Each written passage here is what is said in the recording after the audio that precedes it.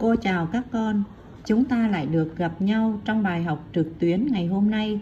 Ở những tiết học trước, thầy cô đã dạy cho các con rất nhiều văn bản có ý nghĩa. Những bài học mà thầy cô mang đến, cô hy vọng các con biết đón nhận, nâng niu và ghi chép bài đầy đủ nhé. Các con biết không, quê hương là chùm khế ngọt, cho con trèo hái mỗi ngày. Quê hương nếu ai không nhớ, sẽ không lớn nổi thành người. Lời bài hát được phổ nhạc từ lời thơ, tiếng nói ra diết của nhà thơ Đỗ Trung Quân dường như đã đi sâu vào trong trái tim của mỗi con người yêu quê hương. Có thể nói, quê hương là một khái niệm mà khi bất chợt ta thốt lên thì bao nhiêu cảm xúc dâng trào đầy thân thương. Quê hương là đi xa lại muốn về, khổ đau càng muốn về. Về quê là về với đất mẹ, về quê là mang theo bao niềm yêu thương nhớ. Hôm nay, cô và các con cùng về quê với nhà thơ Hạ Tri Chương qua bài thơ ngẫu nhiên viết nhân buổi mới về quê. Trước khi bước vào bài học, chúng ta cần có các mục tiêu cần đạt như sau. Thứ nhất, thấy được tính độc đáo trong việc thể hiện tình cảm quê hương sâu nặng của nhà thơ. Thứ hai, bước đầu nhận biết được phép đối trong câu cùng tác dụng của nó. Bây giờ chúng ta bước vào phần thứ nhất đó là đọc tìm hiểu chú thích.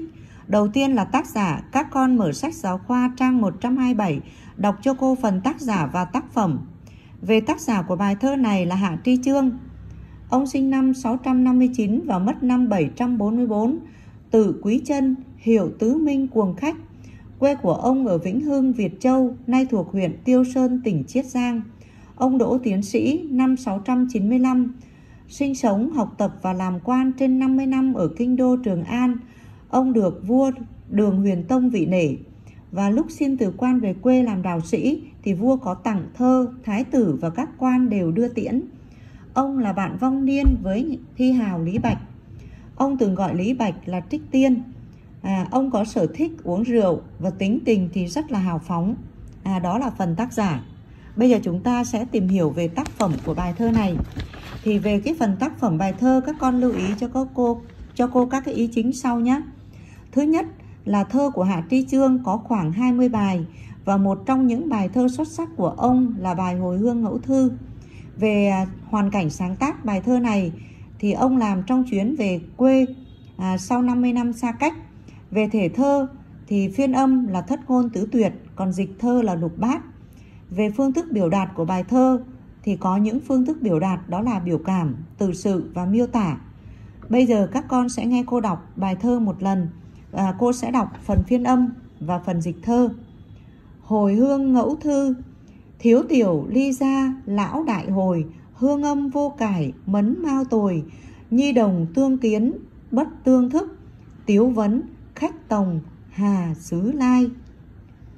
Ngẫu nhiên viết nhân buổi mới về quê. Khi đi trẻ lúc về già Giọng quê vẫn thế Tóc đà khác bao. Trẻ con nhìn lạ không chào Hỏi rằng khách ở chốn nào lại chơi?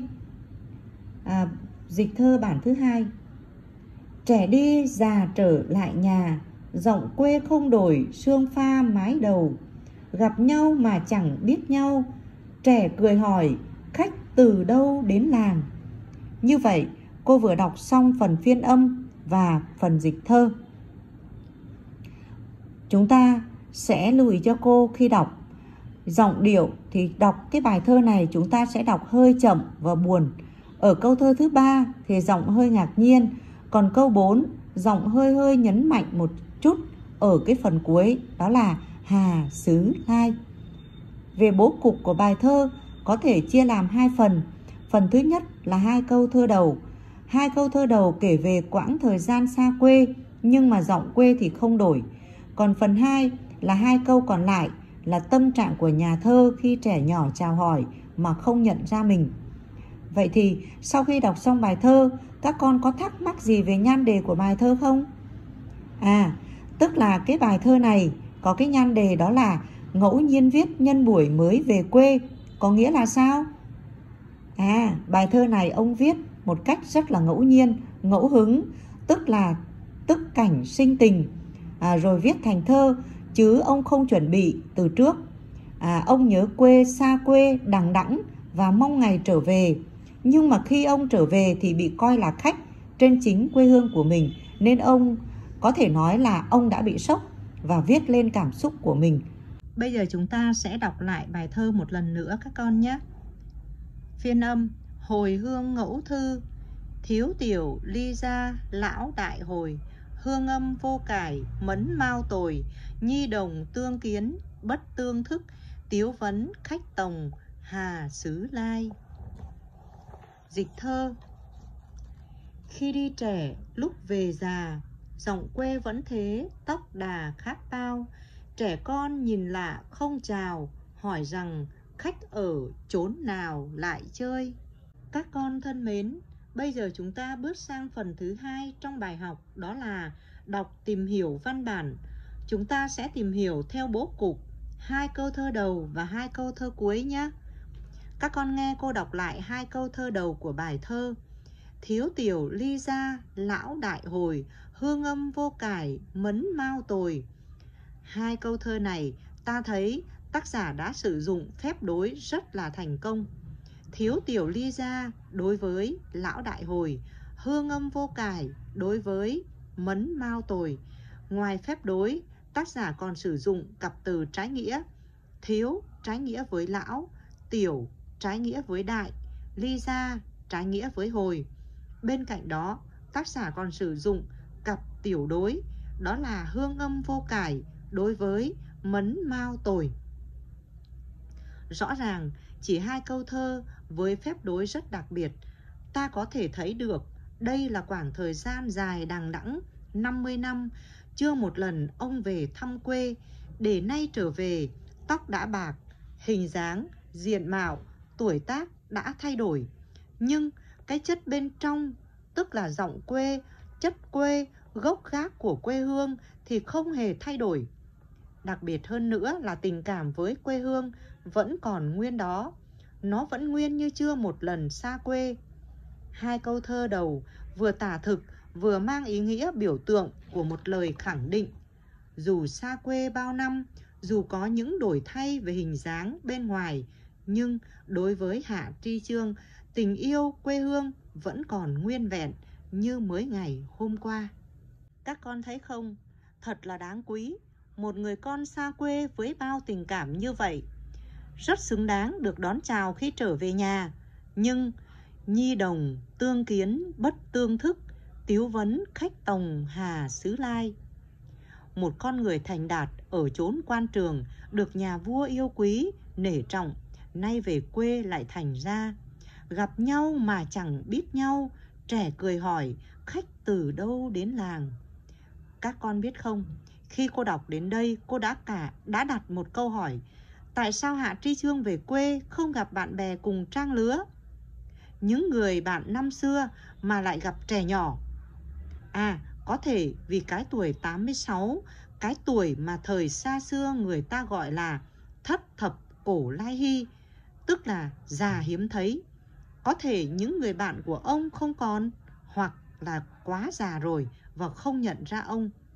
Và cũng chính từ đó mà bi kịch của người con xa quê trở về đã bị coi là khách. Một từ đắt nhất trong bài thơ, nó không chỉ là cảm hứng để nhân vật trữ tình viết nên bài thơ, mà nó còn thể hiện nỗi buồn xót xa, ngậm ngùi. Trẻ nhỏ, thản nhiên vui đùa, nhưng bằng một cái câu hỏi tu từ, khách từ đâu đến, đã lột tả được sự thờ ơ của lũ trẻ Đối lập với sự thờ ơ hồn nhiên của trẻ thơ, đó chính là nỗi lòng sầu muộn, xót xa, ngậm ngùi, pha chút hụt hẫng, cô đơn đến tận cùng của tác giả. Các con thân mến, chỉ với bốn câu thơ bằng ngôn ngữ tự sự xen lẫn miêu tả, khách quan, chân thực, lại ẩn chứa một nỗi niềm sâu sắc của nhà thơ. Một tình quê bất biến, một bi kịch chua chát ngậm ngùi, một nỗi niềm cô đơn cô độc ngay trên chính quê hương của mình. Càng khâm phục tài năng của ông, ta lại càng cảm thương, xót xa, chia sẻ những nỗi niềm của Hạ Tri Trương. Các con nhớ học phần ghi nhớ của bài thơ trong sách giáo khoa trang 128 để nắm vững hơn nội dung của bài thơ này nhé. Bài học Hồi hương ngẫu thư cũng đã khép lại để các con hiểu hơn về bài thơ này cũng như tâm trạng của nhân vật trong bài thơ. Chúng ta bước sang phần luyện tập. À, các con sẽ củng cố lại những gì mà các con đã được học trong ngày hôm nay. Các con mở sách giáo khoa trang 128 và đọc cho cô cái câu hỏi ở phần luyện tập. Các con nghe cô đọc nhé và quan sát ở trong sách giáo khoa. Căn cứ vào bản dịch, nghĩa bài hồi hương mẫu thư và những điều cảm nhận được qua việc học bài thơ, hãy so sánh hai bản dịch thơ của Phạm Sĩ Vĩ và Trần Trọng San. À, cô gợi ý cho các con về cái câu hỏi này. Thứ nhất, các con thấy là cả hai bản dịch của Phạm Sĩ Vĩ và Trần Trọng San có điểm giống nhau là hai bản dịch này đều sử dụng cái thể thơ lục bát và gần sát với cái bản dịch nghĩa. Còn về khác nhau thì bản dịch của Phạm Sĩ Vĩ không xuất hiện hai cái từ đó là tiếu vấn, tức là hình ảnh trẻ con cười hỏi. À, còn trong bản dịch của Trần Trọng San á, thì phần cuối hơi hụt hẫng so với bản gốc.